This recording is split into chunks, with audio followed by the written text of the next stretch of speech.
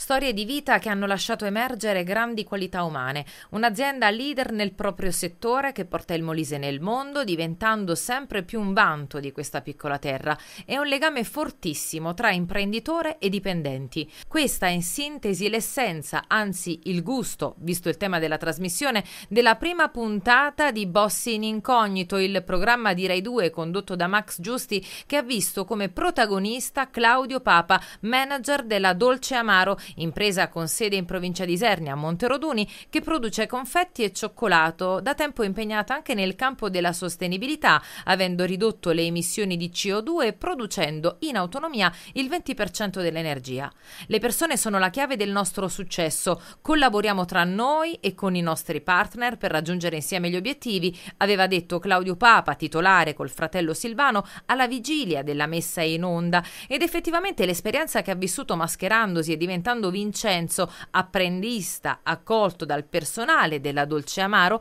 ha messo in luce proprio una sinergia tra lui e i suoi dipendenti, fatta di cuore e professionalità. Vincenzo è stato aiutato e ascoltato e lui stesso ha fatto proprie le storie dei dipendenti, provati dalla vita, ma che sono riusciti a riscattarsi, a sostenere i figli e i parenti, anche grazie al lavoro e all'opportunità che Papa ha donato loro e all'azienda che per tutti è diventata una seconda famiglia. L'imprenditore commosso e colpito dai suoi dipendenti ha voluto ricompensarli con dei riconoscimenti, dei viaggi, persino un contratto a tempo indeterminato, ma è l'affetto che li lega che ha colpito e commosso tutti, quella chiave vincente per l'impresa e per l'anima.